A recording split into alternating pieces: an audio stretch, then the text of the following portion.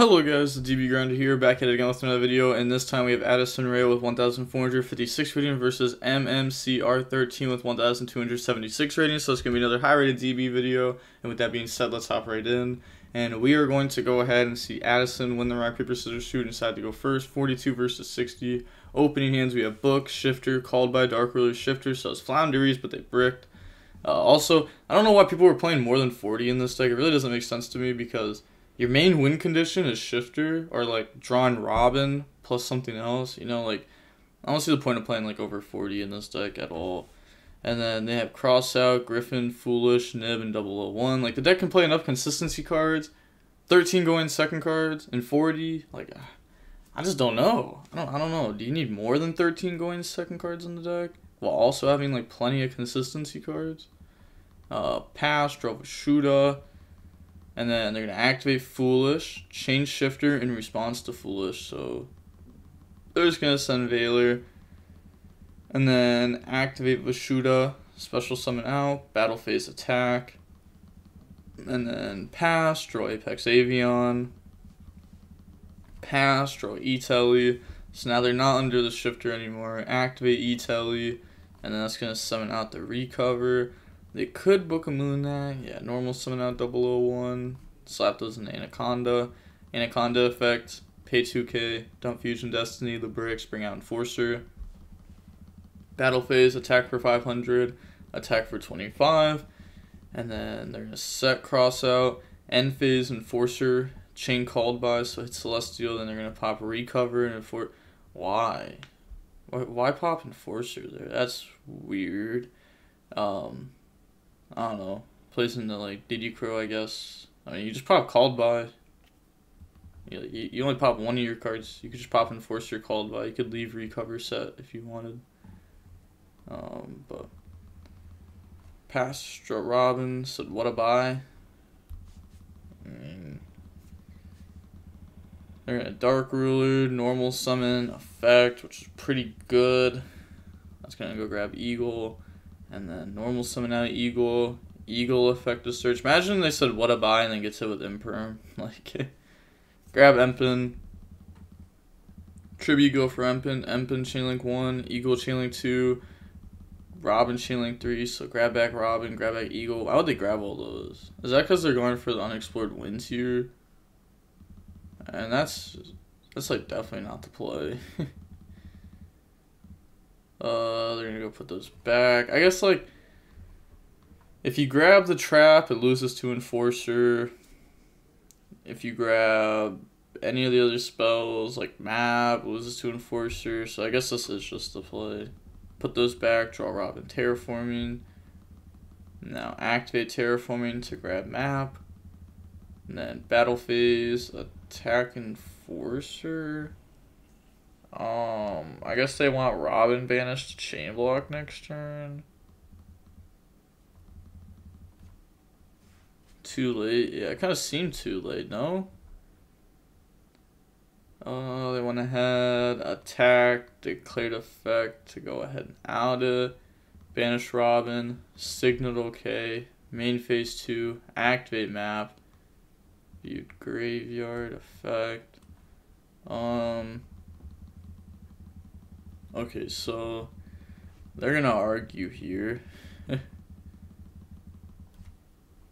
okay, Pastro Italy, so it looks like they're letting the enforcers still come out. Attack position.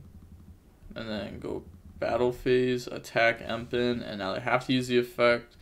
Otherwise they would crash. Because this doesn't like negate the effect, negates the activated effects.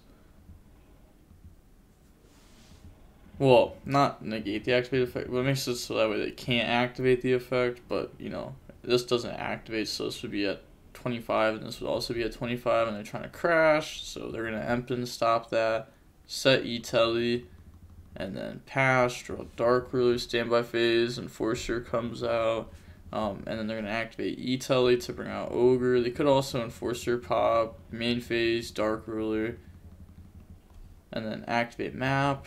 Uh, they admit defeat. I don't know why you're talking trash, bro, to be honest. I mean, they... They didn't even say anything there. You literally admitted defeat, and then you said, I'm not saying anything to you, but then, like, you just did. Okay. So, Aston Ray definitely started it, for sure. Oh, okay. Go to the next game. And then we're going to go ahead and we're going to see MMCR go first. Opening hands, you have Shifter, Terraforming Mines, Shifter Harpies. They have Red Rose, Snow, Vishuda, Temple, and Mermere. So they're going to activate Temple Effect, Banish to go Search, Grab Right, and then activate Chain. So discard, bring out, it's going to get banished, and that's how you win in. Were you on Striker before? Weren't you? It wasn't me. Special summon Avashuda. Yeah, this is a team account, so there's like like double digit people that play on this, so like it's like a different person every time probably. So grab Draco back and then affect the search and discard. So they're gonna grab Griffin and then discard Mermere, special summon out Griffin, and then normal summon Red Rose, get rid of those, go for Floor, activate Draco back on the token. Um, why? I guess it makes this that way it's harder to beat over. Okay, so then they have to like actually out it. Draw Empens. They just bricked again. Activate Terraforming. So Terraforming is gonna go grab Mystic Mine. Activate Mine, Chain Floor. Also, I don't know why they put Harpies in against the deck that doesn't set back or like they don't even go for Blackout. Activate, negate. And then Harpies to hit the back row. Pass, draw Appointer. Okay, so Appointer just secures the game there because now they can hit whatever the top deck is. So attack, set, pass, draw phase, activate, game. And then just move on to the next game now. So going on to game three. D Shifter, 2 Mind Duster, and I won. Wow. Well, that's like playing versus Eldlich, and they draw like Skill Drain, Gozen, TC Boo, Warlords, Judgment, and it's like that's easier to win through than if one of those floodgates were like a conquistador because they just don't have engines. How, how are they supposed to beat you with those cards? Like they're good cards, but they don't actually win you games.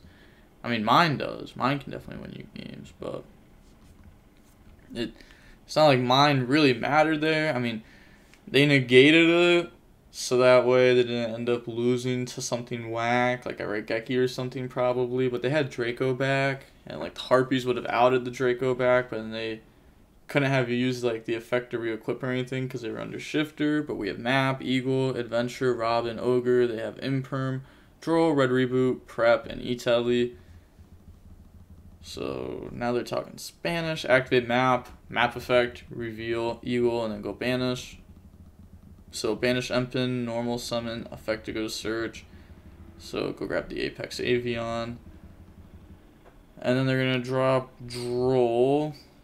Um Why would you do it one second after they search? See, that's literally the worst draw I've ever seen.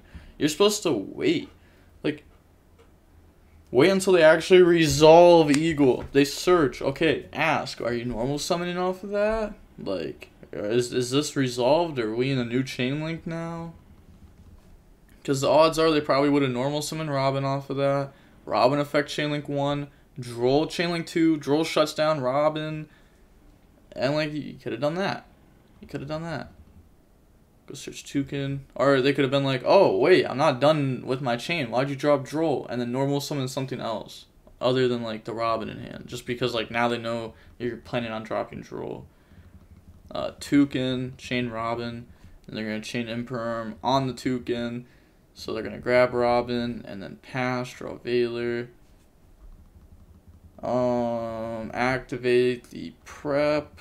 So prep, grab the illusion of chaos, and then activate the illusion of chaos. So search souls, and then put back one, and then activate souls, so that's not what you're supposed to do. Again, you're supposed to go into deck because now you just told your opponent that you don't have the illusion of chaos in hand, that you put back that card instead of something else. So you just revealed free information for no reason. Activate E-Telly. E-Telly goes summon out the recover. And then Souls, discard to try to draw. Could Ogre if they wanted to. Yeah, it's like they're not going to. Draw Faithful just plays in the way too much. Needle Fiber, Needle Fiber effect, Chainlink 1. Ogre, Chainlink 2. And then go Summon out the Red Rose. I guess like if you Ogre Souls, it's just like I could just name so many cards that play through that though. Like another E-Telly, um, a right, a faithful, a temple. Any of those could have also just been drawn off souls. Just any extender in general. A normal summon wouldn't because map would then trigger. You're gonna activate. And then grab temple, discard temple, temple, search right. Now activate right, bring out token, fateful to grab Draco back. Then get rid of those to make Yazi Red Rose, summon Rocks Rose, Rocks Rose, search out Basil Rose Roshu. Yeah, like they're just doing all this, and then they can outmap here. And then Yazi summon, summon out. And then Mermere effect, token, Mermere token. Then go Link Spider, turn those into the Dagda effect, Chain Dagda, Gusset Lancia, and then token.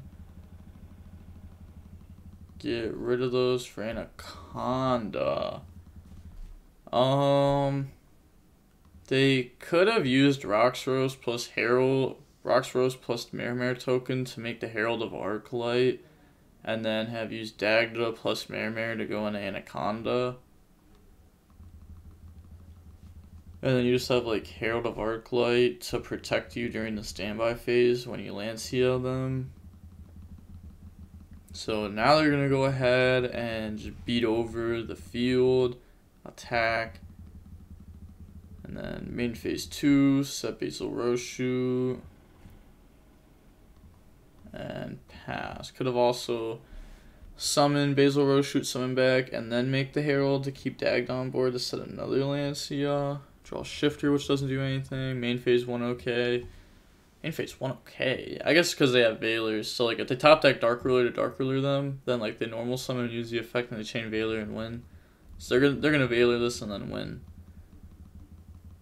So they get the add back, but Robin's negated off Veiler, End Phase Enforcer effect. They admit defeat. Oh, offer rematch. They said bye. Well, as in, like, they are the buy, or... You are free. I just want you to know that. For free. No, I had Veiler. I didn't want a Herald, so if you top deck Dark Ruler. What? That doesn't make sense. If you have Herald of Arclight up, right? And you Enforcer pop Lancia during standby phase, right? Let's say you do this. Then you win. What, does that mean? Like, if your Herald gets hit with Dark Ruler, it's negated. So then you Veiler negate. I, I like how they said misplayer, and they said no, no, no, no, no. but like, yes, yes, yes, yes, yes. You, uh, a Dark Ruler negates the Herald, bro. But okay, they're gonna go ahead and admit defeat. I don't know. I kind of don't want to show either of these players off on the channel anymore. It just feels like I don't know, like they're they're they're they're mad. They're trash talking. They don't play very well. Like nothing about having them on the channel seems very great. So I'm probably just gonna stop showing both these players off for a little while. You know, give them some time. Give them some time to improve at the format. Uh, give them some time to calm down, I guess. Uh, but with all that being said, seeing how long the match was, we can see that it was about 35 minutes long. And the DB Grinder signing off. Peace. Have a nice day. Stay safe.